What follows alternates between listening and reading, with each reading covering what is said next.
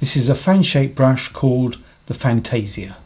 It's a blend of um, natural hairs. It's very, very soft, holds a lot of paint, and it's ideal for painting things like trees. So you just dab the brush, pat the brush onto the surface of the paper.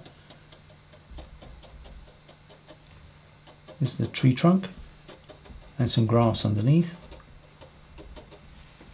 You can double load the brush because it's nice and wide. You put a dark colour on one half and a light colour on the other half. So it's dark and light. There's the sunlit side of the tree and there's the shady part of the tree.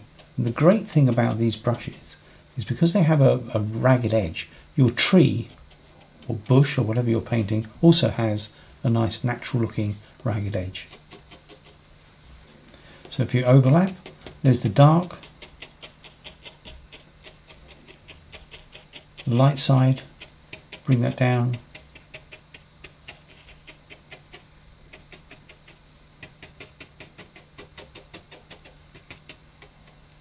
And if you want some tree trunks, just take out with your fingernail.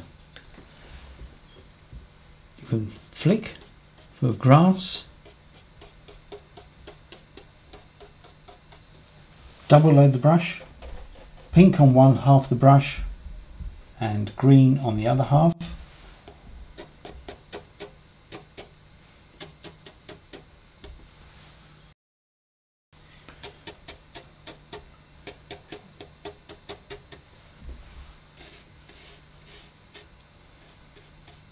Some reflections.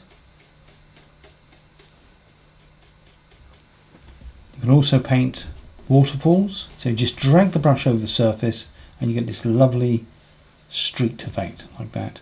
It's also ideal for painting um, animal fur, or hair, wood grain. Just jiggle the brush a little bit.